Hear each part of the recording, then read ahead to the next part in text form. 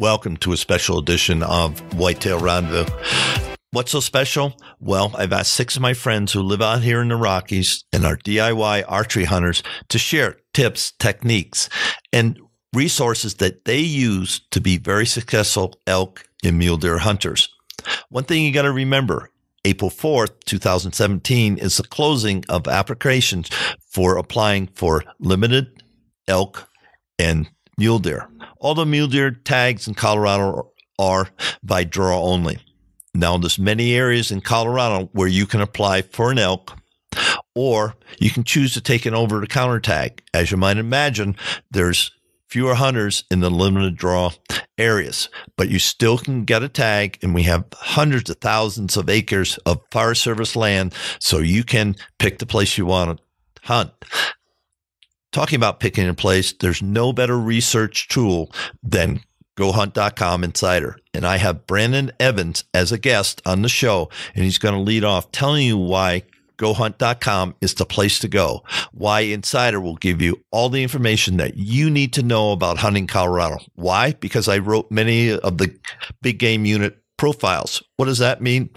You're going to find at GoHunt.com how many preference points it takes What's the class of trophy that's in there? Is it a 260 bull, a 300 bull, or a 350 bull? As you might imagine, a 350 bull, if it's in a limited draw area, it's going to take a heck of a lot of preference points. It might take years, but they'll still give you the opportunity to, to use their resource tools to find a place that has 265 bulls, Pope and Young bulls, and you can get an over the counter tag.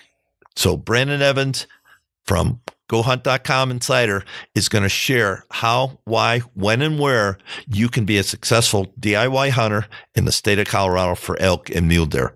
Oh, one thing I want you all to remember you need to listen to the whole show to get the promo code.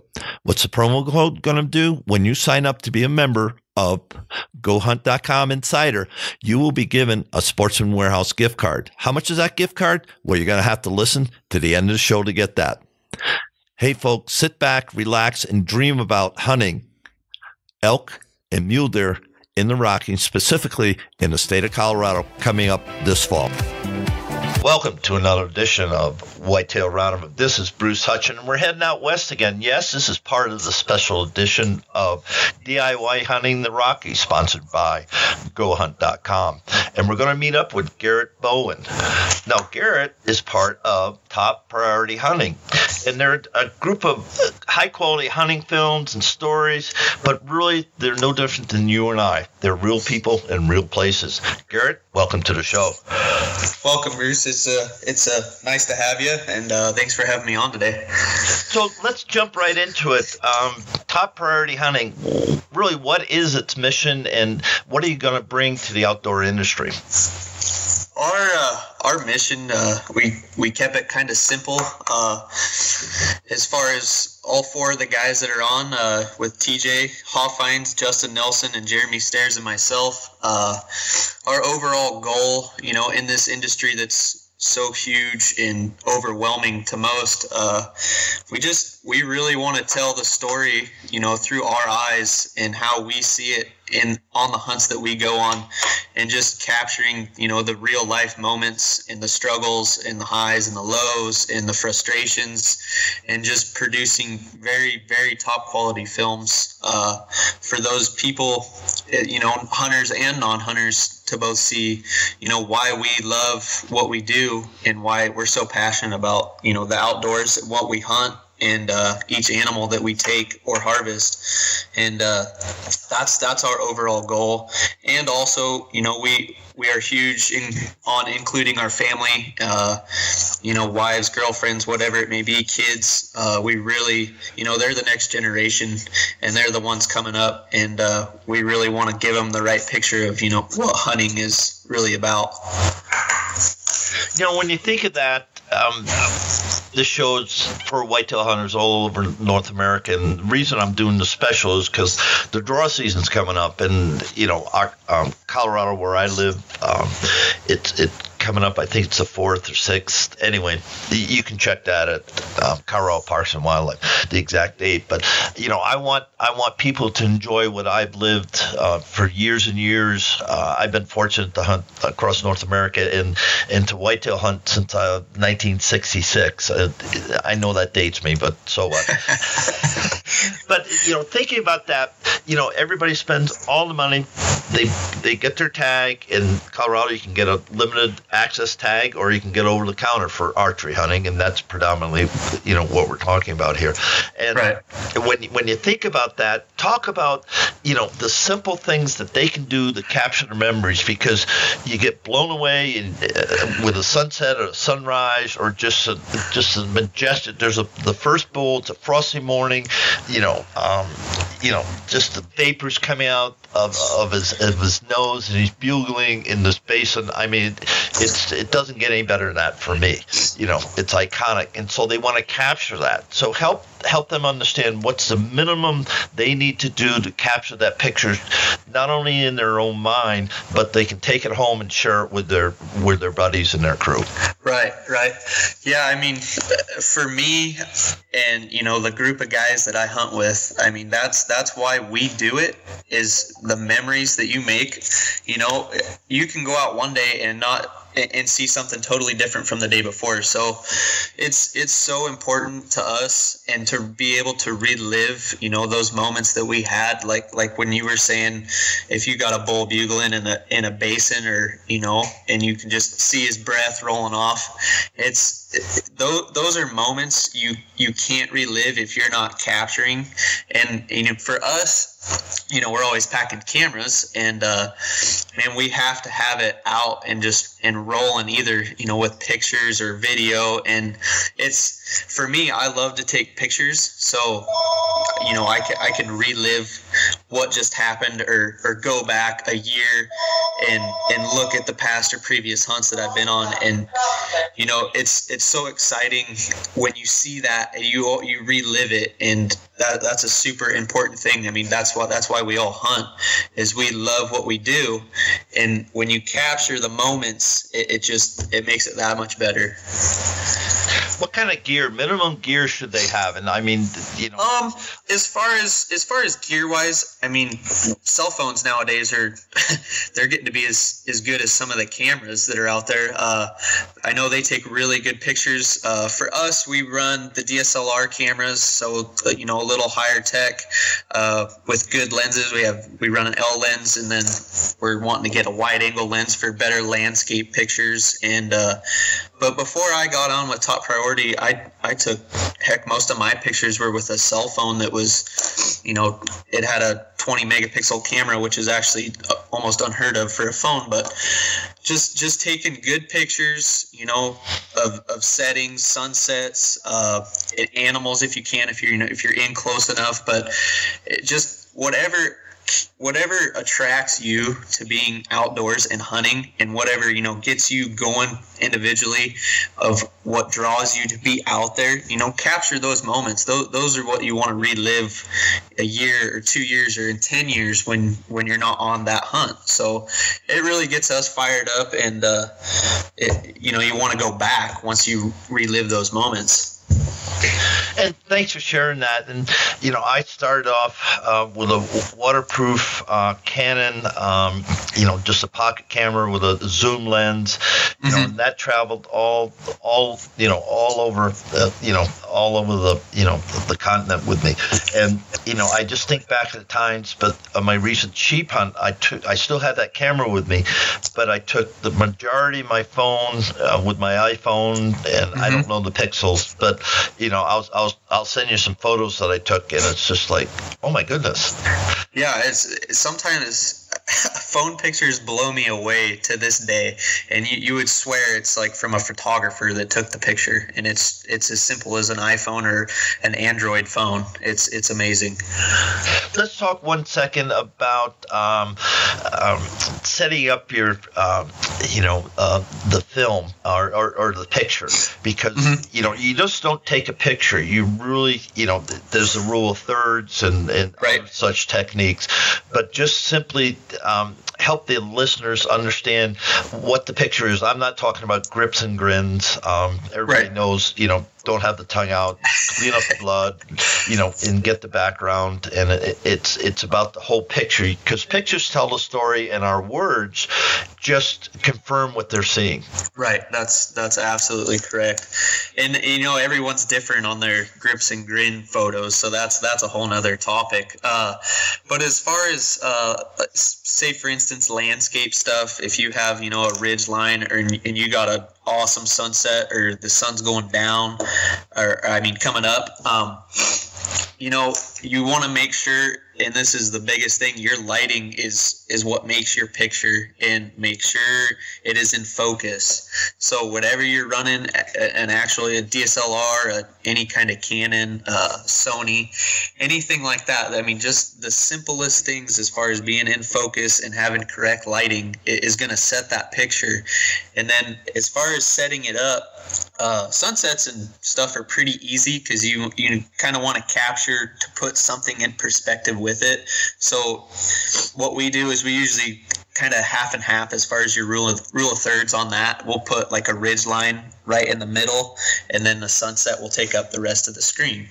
So those are probably the easiest. Um, on on other things, as far as more detailed stuff, say you're taking a picture, you know, uh, of an individual holding a bow or something, you really we really emphasize on different angles. Um, kind of unique angles, something that is going to draw the eye to to what's going on. Um, the more creative you can get with taking pictures, the better they're going to turn out. And it, it definitely takes a lot of time to learn and to have the eye for it. And uh, once you get a better feel for for how to set up a picture correctly, it, it, they're going to turn out a lot better. And you can you can research, you know, YouTube this to this day is unreal. Uh, get on Instagram. I mean, there's some awesome photographers out there that in the wildlife industry that take just unreal pictures. You know, and the word comes to me is um, composition. So, listeners, you want to compose your right. picture. You don't want to take a picture. You want to compose it. And, and the things that Garrett just shared, uh, and you can spend as much money as you want. Um, I know some some birders that have more optics than I do, and right. you know uh, we're talking substantial, substantial money.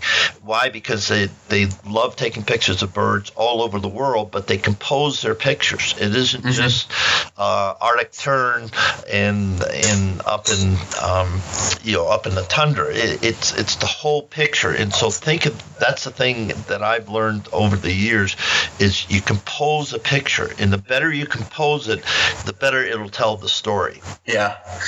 Yeah, that's I mean, for us being a film crew, that pictures are, are crucial because that is what everybody loves to see these days. I mean, because it, it's simple, it's easy, you can scroll through, you can look at thousands of pictures in a day, and we want to be able to grab your attention and just blow you away through what we're seeing out there when we're taking the picture. Say, um, if somebody wants to get a hold of you guys, how's the best way to do that? Um, we have uh, we have our website, uh, toppriorityhunting.com, and then we're also on Facebook under Top Priority, and then Instagram as well all this all the same name just top priority hunting okay thanks for that and a shout out to whitetail stalker our social media partner uh, in the whitetail interest industry and remember folks um, we got good sound quality but that isn't always the case and so remember it's real people in real places whatever that means that's what happens here and uh, again my friends at uh, go hunt uh, lorenzo sartini sartini uh, chris porter um, Brandon Evans and Brady Miller. Uh, shout out to Go Hunt for sponsoring this special segment of Whitetail Rendezvous. Now, um, let's talk about elk hunting or, or mule deer hunting, whichever way you want to go. Let's let's we've got about ten minutes left. Let's spend about five minutes on elk and in, in, in, the Rockies, and then uh, five minutes on mule deer, and talking about okay, so you get your tag, um, you're gonna hunt the Rockies. Now you're on the ground. How do you start hunting? How do you how do you find you know where the elk are? so what we do, this is going to be extremely tough in five minutes and five minutes because it's such a huge topic. We can't but, do uh, it, and, and I'd love to have you back, Garrett. So this is, you know, we got to give them the fifty thousand foot view, and then um, what we'll do is, is we'll come back and and um, you know we'll, we'll talk about it more in depth, and we can have a one show and you know segment. Right. But let's just roll what we got. Okay, so uh, boots are on the ground. Uh, never been in the Rockies or anything like that. I mean, w- what we do personally, we uh, we get to a good ridge top. Uh, not necessarily the highest ridge you can find, but you know somewhere that's uh, and we do before we even hit the ground. We're we're looking at maps. You know, good waterways, uh, good feeding grounds anything that would would draw an elk or a deer deer kind of the same way out here but uh, for us we find basins that hold water and they hold good feed because that's that's mainly where these elk are going to hang out and for it being you know say you're hunting in september the elk aren't really vocal. You're going to have to get out and you're going to have to move and keep moving until you find elk. And it's typically we find most of our elk you know early when the before the sun's coming up we start glassing super early and get a fix on you know where elk are kind of get them patterned where they're going to bed uh, and then that we'll make a game plan from there. Um, if they are talking you know it's obviously a little easier a lot easier actually you know to, to navigate and to work into where these elk are going to be. Um, it can be super frustrating. I mean we've we've definitely had highs and lows as far as finding elk. If if you're not finding elk or seeing elk don't waste your time in one in one area. Don't don't hold yourself to one area. You know there's thousands and thousands of acres. You know get out and move and you you have to be willing to to pack up and hike and uh, put yourself in good situations and and find where these elk are going or where they're going to be So um, I get up at dark thirty. I climb the ridge, and that's a chore in itself in the in the dark. Yes. I'm up there, and you know it it's it's gray light, what I like to call gray light. You can see the the, the sun's going to be coming up half an hour, an hour. I mean, it's just the horizon's um, lightening up, and and you got to look for elk, and they they're going to be in open places. So I see it. I see a herd. I see a bull, and I know where they went to bed. Now what do I do? Okay, so is this are we are we going over kind of archery topics or or Yeah, rifle archery. or, or No, archery? archery. Okay, okay. So what we do, uh, if the elk are quiet, they kind of where we hunt. I'll put that in perspective. The elk are usually out till you know maybe 10, 11 at the latest because it stays cooler in the high country. So you know we we take it slow. We move in slow unless we got a hot bull and uh, we can get him fired up and you know get him to meet us halfway or something like that. But uh, we really pay attention as to what the herd size is, how many cows he has, um, how vocal he is, because that can kind of deter your setup on going in and after him. If if he's super vocal and and he's really pushing cows around, you can get in there and you know challenge him and, and kind of get him pissed off a little bit, and uh, you know the fight will be on then as far as you'll get him super aggressive and he'll want to come towards you to see what what's going on what's coming into his, herd. And it, it you take that and then you go to a completely quiet quiet elk that'll bugle a few times. And those are the elk that are super challenging as far as if they bed down in a in a patch of timber or something. You it, it's almost it's almost impossible to hunt those elk it, for for people just getting into it but it i mean it can be done. Uh, take your time go super slow on quiet elk. Um, you know you don't have to walk down in your socks. I mean elk make a lot of noise if if you're around them enough. You'll you'll understand that elk are pretty loud since they're thousand pound animals 900 pound animals you know running around they're actually, you know, when you're calling or you're going in on a setup, you know, make some noise, break some branches. As long as you keep the wind, you know, in your favor. And wind, wind is your worst enemy when when elk hunting. I mean, you have to have to keep the wind in your favor, and and definitely pay attention to your thermals as far as when the sun's coming up and when it goes down. You know, write it down as far as when your thermals switch because because if you get in there and you get within 100 yards and you're closing on these elk and uh, the sun's coming up those thermals are going to change. So just it's super crucial in the in that game. Now you mentioned um, silent bulls and and um, you know um, hot bulls. And you know it is easy to get in hot bulls but sometimes the silent bulls are are easy to hunt because they're not running around they're bedded up but you mm-hmm. have to get in on top of them without right. them knowing you're there. And and the reason I bring that up is because whitetails are are just you know they're they're always on springs. They're always coiled to you know, to blow out. I mean, it's just nuts. And so the whitetail hunter, I think, and I can go back to my first uh, trips out west. I, I, Dwight Schuh had a good book, and I met him at the Elk Foundation, and he said, "Just read my book," and I did. And I was fortunate to get um, up close and personal to a, a, spike that that was bedded, and I could I smelled him 1st mm-hmm. He wasn't talking at all. I was just you know north facing slopes, you know cool cool the day, and because I was a whitetail hunter and had um, you know. Uh, done the spot and stalk or just still hunted uh, whitetails, I was able to get on top of them. And it wasn't to me, it wasn't that much different than than still hunting, you know, a whitetail because you sort of kind of know they're there because you're only hunting right. 100, 100 acres, you know. Yeah. Or, you might even be only hunting a 40, but it's the same thing. So that's why I wanted to share, you know, if they go silent, you know, um, talk about calf calling or mewing, you know, um, lost calf or whatever, um, you know, about how to get in that silent bull because sometimes that might be your best shot. Yeah, and I and like you said about the the whitetail hunters, they they have a tremendous upper hand because of the patience level. Uh, as far as spot and stalk, they they're so used to those whitetails, and and elk you can you can kind of get away with a actually you can get away with quite a bit more than you can with a whitetail.